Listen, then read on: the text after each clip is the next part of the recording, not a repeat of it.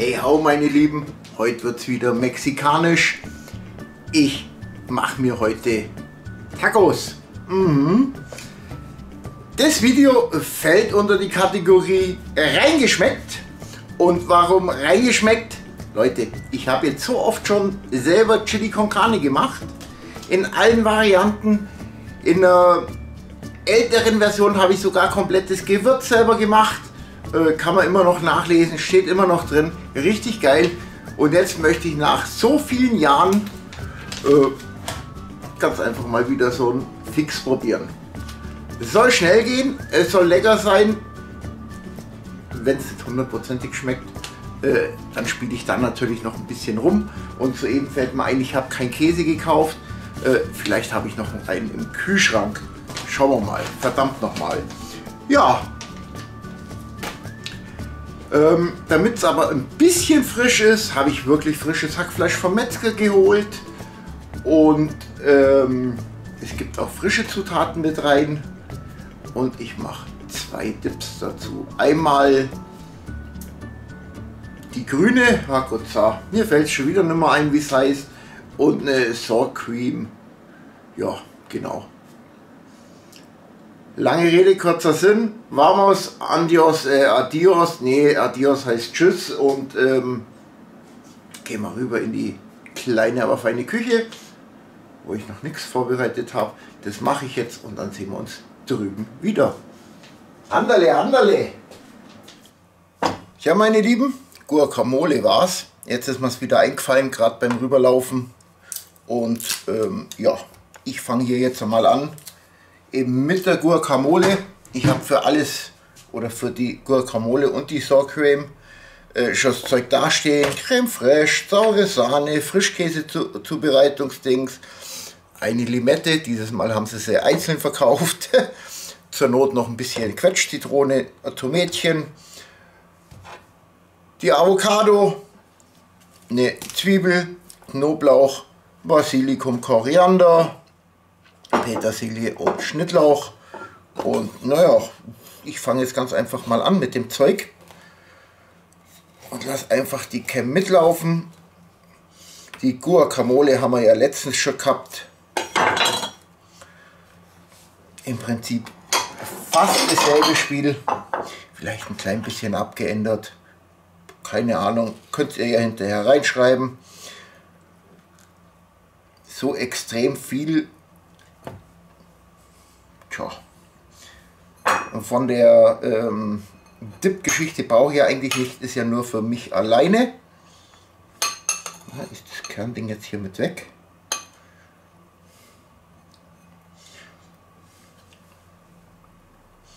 Na komm raus. Na. Aber ich mache halt hier jetzt trotzdem ein komplettes Portionchen werde ich schon wegbekommen. Nein, Schale will ich nicht. So.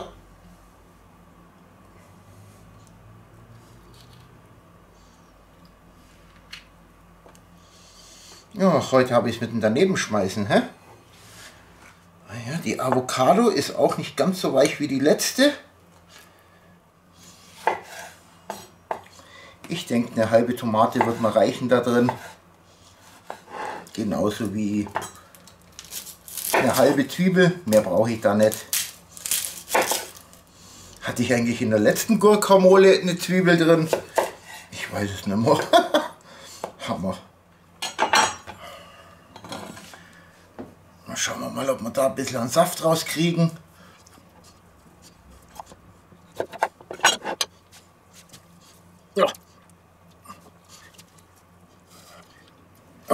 ein bisschen was auf alle Fälle. Die andere nehme ich dann ähm, für die Sour Cream.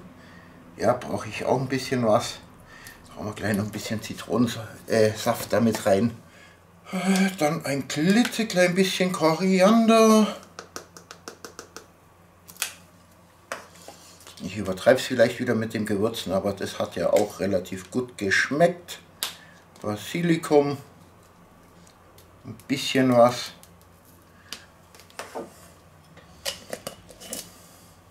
Ein bisschen getrocknete Petersilie auch.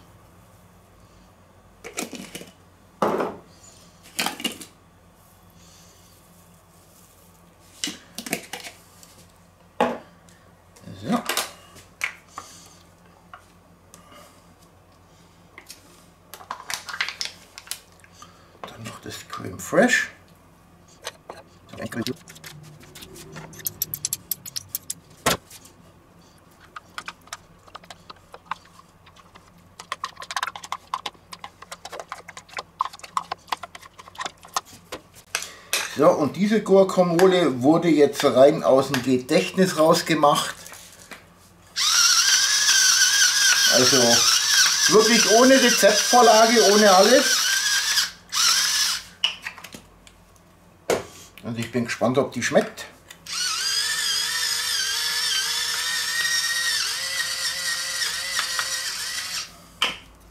Aber das wissen wir gleich. Habe ich das letzte Mal bloß den, so einen halben Becher von dem Creme Fraiche verwendet. Boah, Leute, ich weiß es nicht mehr so ganz genau. Aber egal, wie ich immer so schön zu sagen pflege.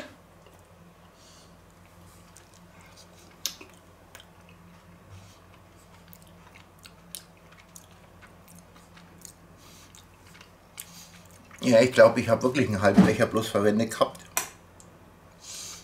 Hm? Hm?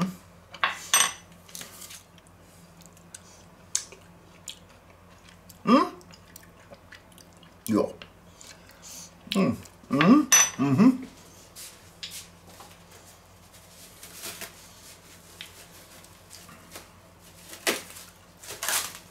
Hm. Nicht schlecht. Ganze schicken wir jetzt in die Kühlung, weil das brauchen wir ja erst später. Aber schlecht ist er nicht. Definitiv zu viel Creme Fraiche drin, aber trotzdem lecker. So, Zwiebeln klein, Zwie oh, zweite Zwiebel auch klein geschnibbelt. Also in dem Rezept hier da habe ich jetzt ein Rezept, das nehme ich bloß als grobe Vorlage. Wollen Sie, dass wir die Zwiebelwürfelchen mit zwei Esslöffel Wasser aufkochen und dabei das Wasser verdampfen lassen, abkühlen lassen. Äh, das mache ich jetzt nicht, den Arbeitsgang spare ich mir. Ich will noch keine gewässerten Zwiebeln. So, äh, wo habe ich die Knoblauchpresse? Hier kommt jetzt der Knoblauch mit rein.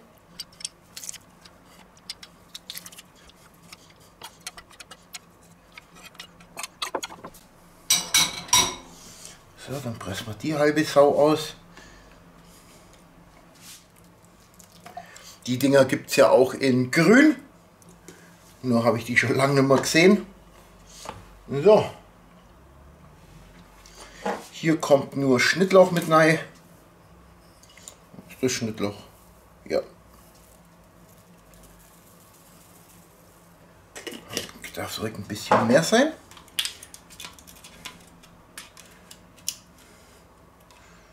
Dann die saure Sahne und der Frischkäse.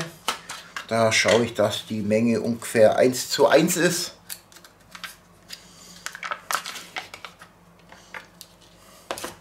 Ungefähr, Leute, ungefähr.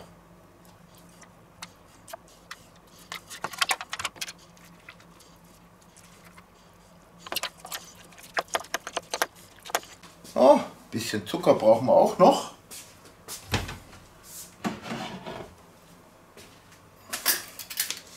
Schreiben Sie, also haben wir noch ein klein bisschen Zucker mit rein.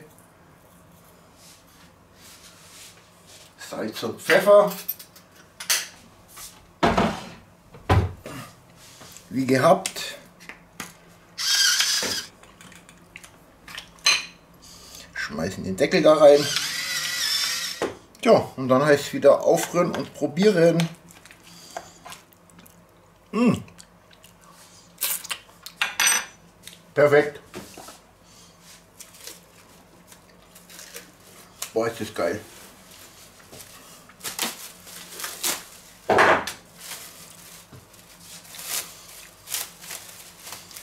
Mmh.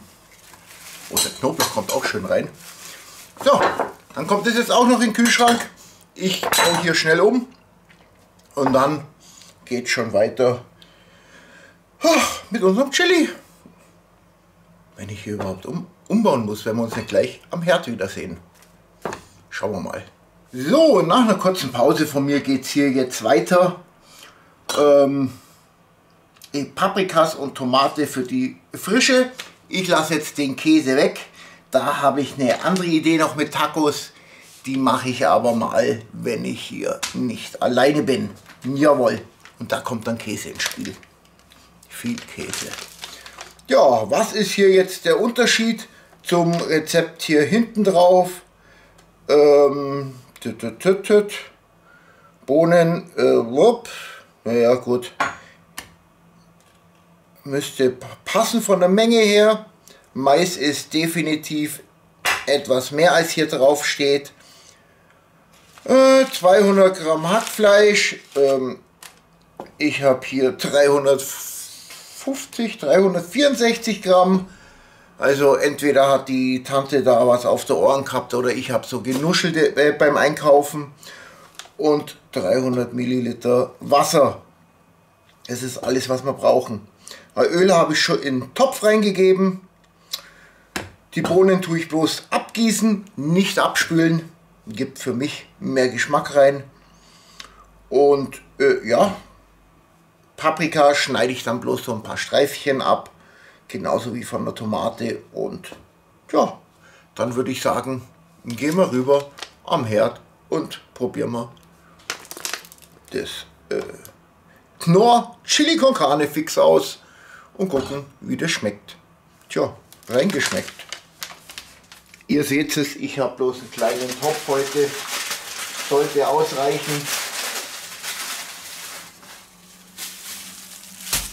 Hackfleisch. Bohnen, Bohnen tue ich gleich nebenbei abgießen. Das äh, Öl, was drin ist, ist gerade am Erhitzen.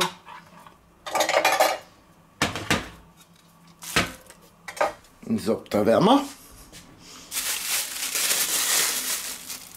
Öl könnte warm sein.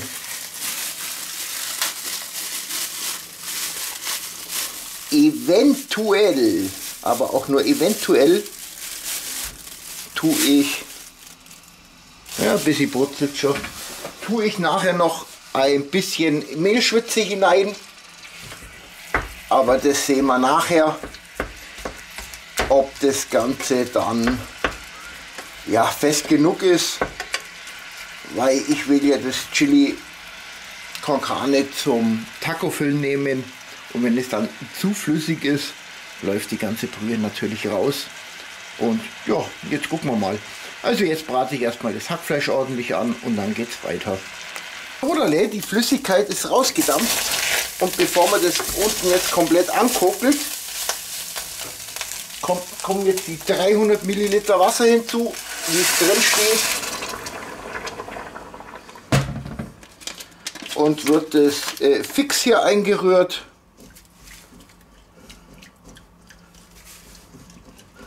Ich bin ja echt gespannt, Leute, wie das schmeckt. Ich bin ja echt gespannt. Wie gesagt, vor zig Jahren hat man das so gemacht, bevor ich, oder habe ich das auch schon so gemacht, oder wurde auch schon so gemacht, wo ich mitgegessen habe, bevor ich dann ja wirklich selber alles gemacht habe. Und ich will jetzt mal in Erinnerung schwelgen sozusagen. Ja. Was steht denn als nächstes drauf? Gib Bohnen und Mais dazu und koche das Chili unter Rühren auf. Dann machen wir das.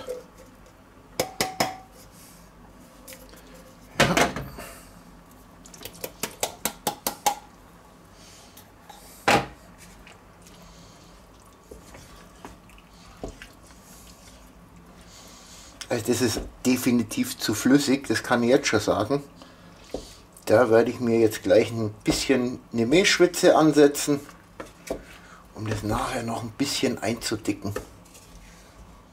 Lass das Chili zugedeckt bei circa 5 Minuten bei schwacher Hitze zugedeckt, ca. 5 Minuten garen, rühre ab und zu um. Hey Leute, ich hebe nicht jedes Mal den Deckel runter. So, also ein bisschen aufköcheln, ein bisschen köcheln lassen und dann kommt noch die Mehlschwitze mit rein. Und jetzt probiere ich das ganze Konstrukt mal.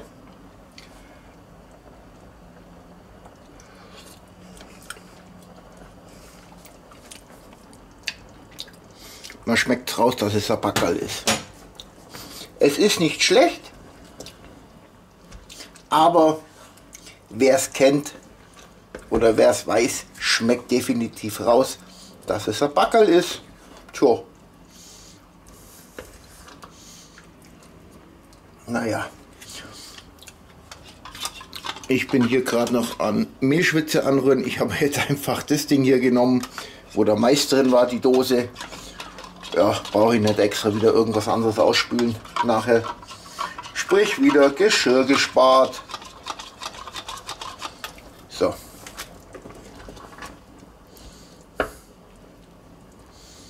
Na, dann wollen wir doch mal.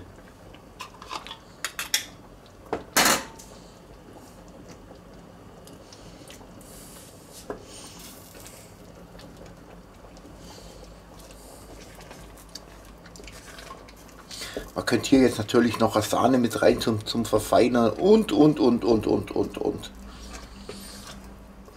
Oder geschredderte Tomaten. Wäre jetzt alles möglich.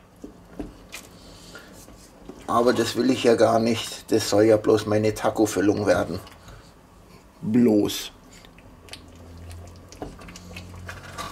Ja, dann schalten wir ein bisschen runter.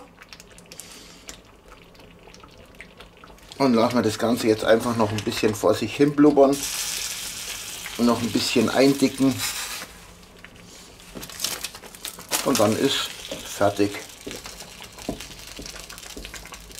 Irgendwann mal in grauer Zukunft. So Leute, dann wären wir schon wieder hier. Die zwei Tipps. Chili con Carne habe ich übrigens noch ein klein bisschen Mehl dazu und Salz und naja, was soll ich sagen? Hm. Man kann es essen. Man kann es wirklich essen. Schmeckt zwar ein bisschen nach Industriefutter, aber es geht. Ja, und ich mache mal jetzt hier genau ein Taco.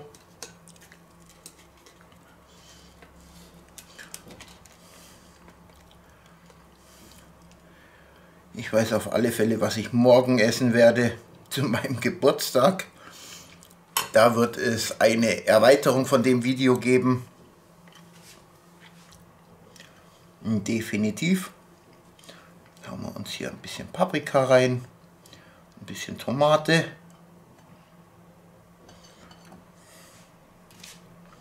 Ja. Und anfangen tun wir mit dem Dip hier. Der nächste Bissen wird dann rein theoretisch der Dip. Tja. Und dann klatschen wir uns das in heiß. Probieren wir, wie das zusammen schmeckt. Ich hoffe, das ist jetzt nicht zu heiß. Mmh.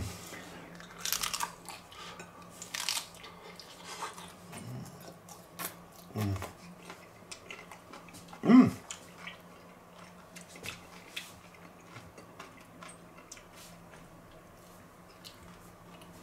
Mhm. Mm.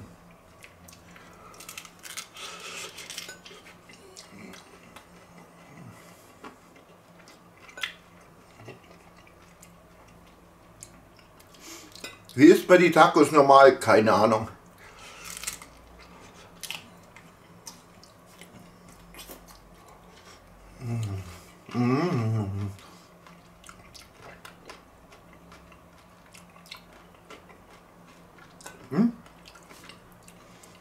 mit dem Tipp und so. Richtig geil.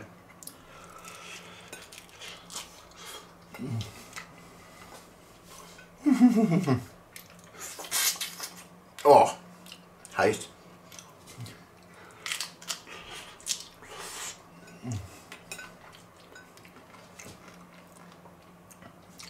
Gott sei Dank steht hier der Teller drunter. Tropf, Tropf. Blob.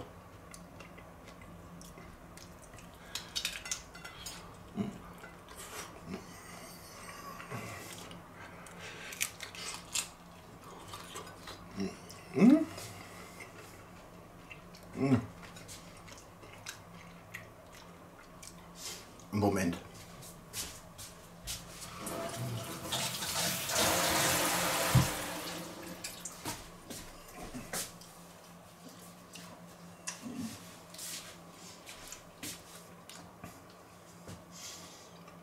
Definitiv so eine geile Sauerei. Zu dem Chili con Carne muss ich sagen, es hat einen leichten Industriegeschmack. Also man schmeckt raus, dass es aus dem Backerl ist. Aber jetzt so für ein Taco als Füllung optimal. Geht ruckzuck. Kann man mal machen. Kann man mal machen. Ansonsten Chili con Carne lieber komplett selber machen. Ganz klar.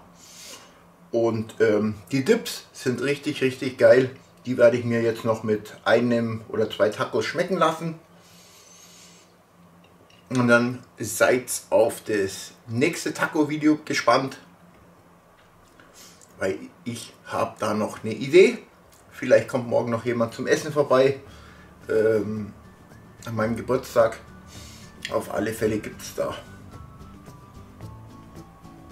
das Chili mit den Tacos in einer bisschen anderen Variation. Glaube, das wird auch ein geiles Essen. Ja, Leute. In dem Sinne, wenn das Video gefallen hat, ein Däumchen nach oben, ein nettes Kommentar, Abo, ihr wisst Bescheid und seid gespannt auf das zweite Taco-Video. Ich sag dann mal Tschojkowski, ich richte mir jetzt noch mal ein Taco her und dann gehe ich in Ruhe zum Essen. Genau, das mache ich jetzt. Yummy.